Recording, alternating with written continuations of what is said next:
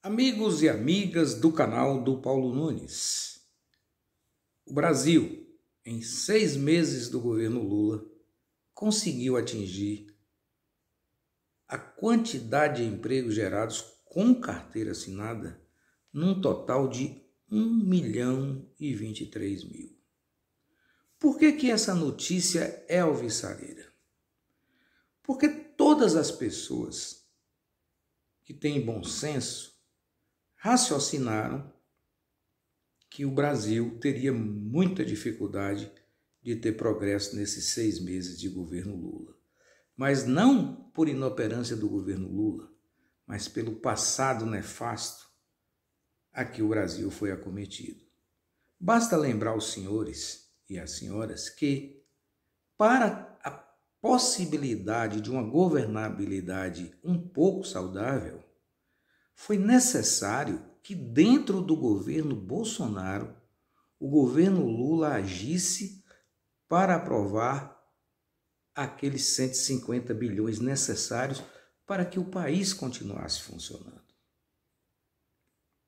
Para você ver o estrago que foi feito.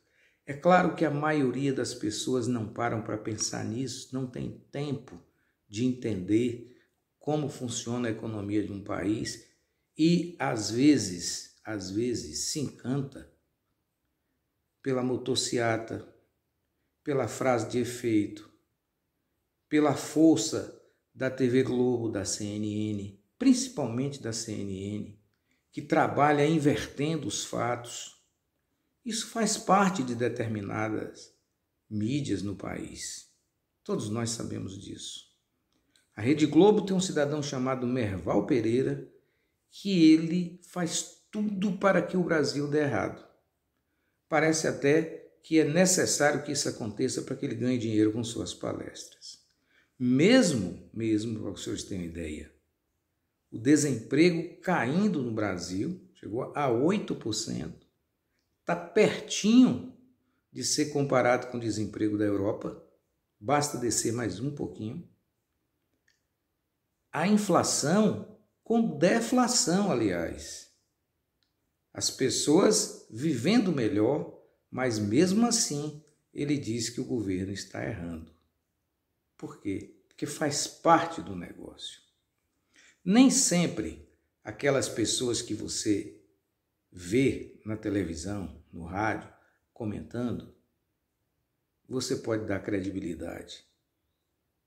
Não que eles não saibam o que estão falando, sabem problema é a honestidade, meus amigos e minhas amigas, que ela tem em alguns lugares, mas a desonestidade também está nos mesmos lugares.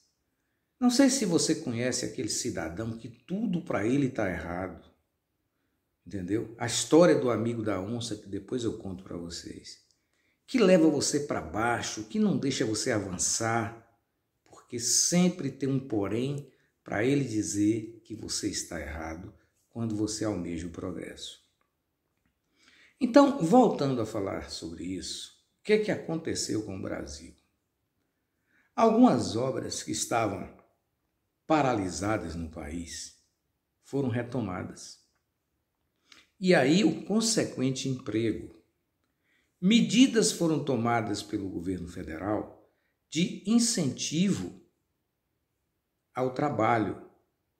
Os empréstimos financeiros através do BNDES, do Banco do Brasil, da Caixa Econômica, foram na direção da atividade produtiva. Aí o cidadão tem a necessidade de contratar.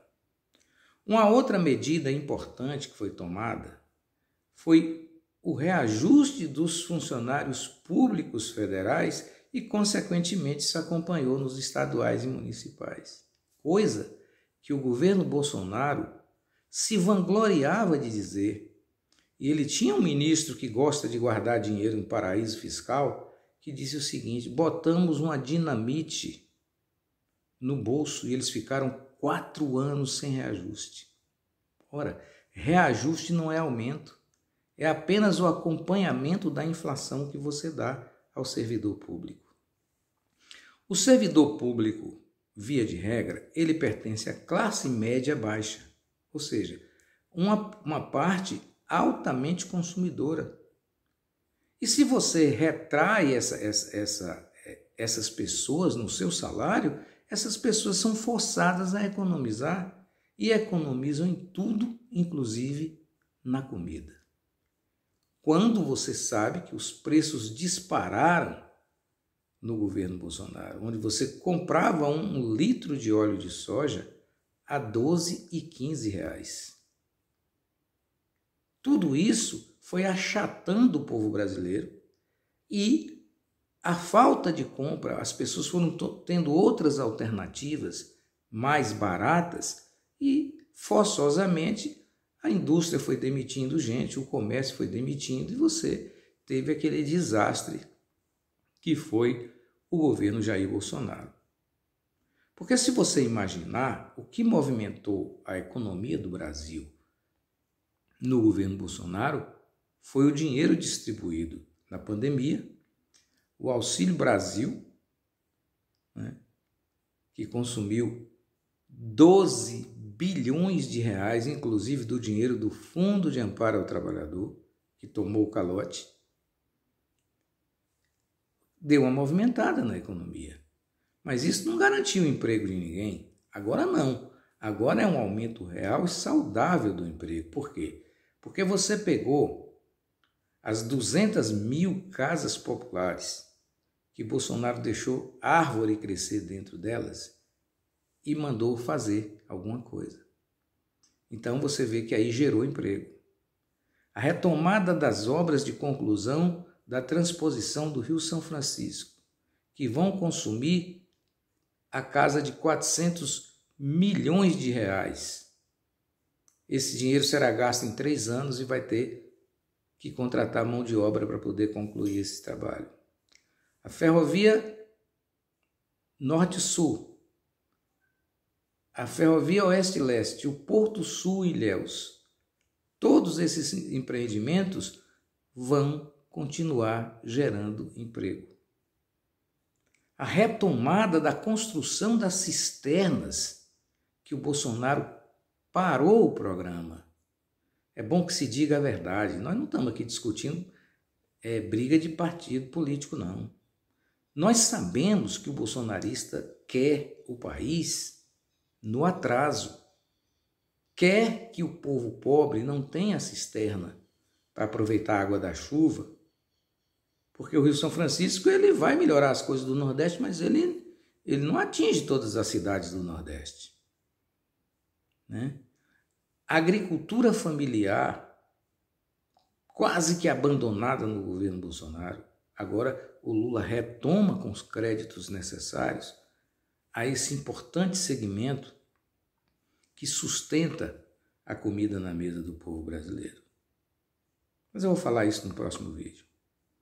Então, meus amigos e minhas amigas, o Brasil começou a dar certo e eu confesso a vocês que eu achava que seria muito difícil o governo Lula conseguir gerar um milhão de empregos em seis meses. Porque estava tudo encrencado no Brasil, estava tudo parado, as rodovias totalmente abandonadas você só ouvia falar. Ah, o ministro Tarcísio isso, o ministro Tarcísio aquilo. Foi o pior ministro dos transportes da história do Brasil. Muita conversa e pouca ação. Basta dizer aos senhores e às senhoras que na Bahia esse ministro conseguiu inaugurar 21 quilômetros de estrada federal. 21 quilômetros mas estava na Bahia todo dia, até a duplicação da Ilhéus Itabunda ele chegou a inventar que fez. E não fez nada. Quem está fazendo a duplicação é o governo do estado da Bahia. Ele fez o quê? Pegou uma parte do acostamento, total mais ou menos de 5 quilômetros, do acostamento da estrada Ilhéus Itabuna, e meteu o asfalto lá e você teve uma duplicação de um pequeno trecho, mas não tem área de escape o cidadão, se tiver um problema no carro, ele cai no despenhadeiro e morre. Essas fantasias são às vezes criadas em benefício da propaganda política. Mas não é isso que interessa para nós. O que nós chamamos atenção é que, seja qualquer governo, nós temos que aplaudir e incentivar as melhorias para a maioria das pessoas, porque assim sendo, tudo melhora. Agora, se você não reajusta o salário mínimo no valor normal, não reajusta o salário dos empregados públicos, não faz as obras necessárias nos quatro cantos do país, você vai ter menos, uma quantidade menor de pessoas trabalhando e menos dinheiro circulando na praça. Aí vai dizer: ah, mas fechou aquela empresa. Olha, fechar e abrir empresa no Brasil. Eu tenho mais de 60 anos. Eu sempre achei que a Mesbla não fecharia nunca.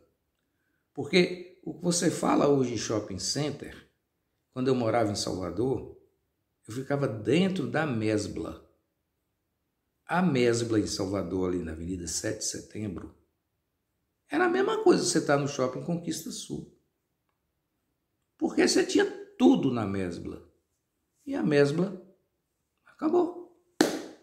Então, de modo que essas questões de comércio e de indústria é o balanço que você faz de como você vai gerir os seus negócios. Mas então o país está feliz, porque 1 milhão e 23 mil empregos significa que pelo menos 6 milhões de pessoas estão comendo bem com a segurança que vai ter o dinheiro no final do mês e que vai sair todo dia de manhã pegar o seu ônibus para trabalhar e voltar à noite com segurança para sua casa. É isso que importa. Mas nós sabemos, evidentemente, que quem apoiou o governo de Bolsonaro não quer isso quer, evidentemente, que não haja emprego criado no Brasil. Quer que o governo Lula naufrague. Quer que o governo não faça as transformações necessárias no país. Nós sabemos disso, porque isso está no âmago do bolsonarista. Com todo respeito, meus caros, mas é a minha opinião. Não querem a felicidade geral. Querem apenas o quê? que um grupo de pessoas continue ganhando muito e que a maioria das pessoas continue ganhando quase nada para que elas sejam totalmente dominadas. Por isso vem essa ideia nefasta de ter a arma. Por quê? Porque o cidadão com a arma na mão, ele vai abater e quem vai morrer vai ser sempre o mais pobre, que não vai ter a força política e nem a garantia do Estado de que o meliante rico que matou vai ficar preso. E nós sabemos como é que funciona, porque a vida no Brasil vale menos do que um carro. Digo isso, sabe por quê? Veja se não é isso. Código Penal no Brasil. Cidadão mata um, condenado a 12 anos, fica quatro anos, vai para a rua. Não é assim? Agora rouba um carro para você ver, você fica 10 anos preso. Então, o objeto tem mais valor do que a vida humana no Brasil. E por que isso aconteceu, meus amigos? Desde quando o Código Penal foi feito lá em 1940, que não modificou muita coisa até hoje, era exatamente para proteger o aquinhoado, que era quem andava armado naquela época, e que quando ele matasse alguém ou fosse mandante, ele ficasse pouco tempo na cadeia. Mas aquele cidadão que, pela própria vida que carregou, fosse roubar, a pena dele seria três vezes mais do que o cidadão que tirou a vida de outro. É simples você entender como é que funciona a cabeça de quem fez a lei no Brasil, que são os nossos deputados e os nossos senadores. É isso que você precisa pensar, notadamente, quando você dá o seu voto. E agora eu volto aqui para dizer que mal tem o país conseguir mais de um milhão de empregos em seis meses e com a perspectiva de fechar o mês de dezembro com mais de 2 milhões e meio de empregados no Brasil. Quem vai ganhar com isso? Todos nós. O que importa se é o presidente Lula que está, se é Geraldo Alckmin, se é Rui Costa, se é um aliado qualquer de Bolsonaro. Isso não importa. O que importa é você promover a felicidade das pessoas. Mas é preciso que os homens de bem realmente e as mulheres de bem tentem ensinar aos outros de como votar.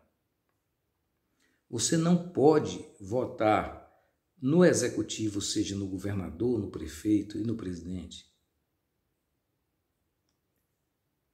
E esse voto que você deu valer se você votar no proporcional, que é o deputado, o vereador e o senador, diferente do executivo. Por quê? O que, é que vai acontecer? O que aconteceu agora com a eleição do presidente Lula?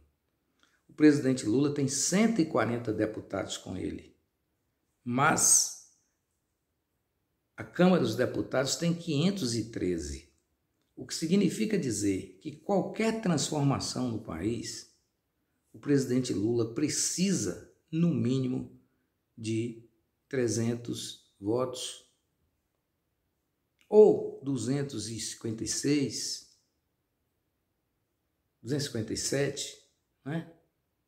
Porque senão não transforma absolutamente nada.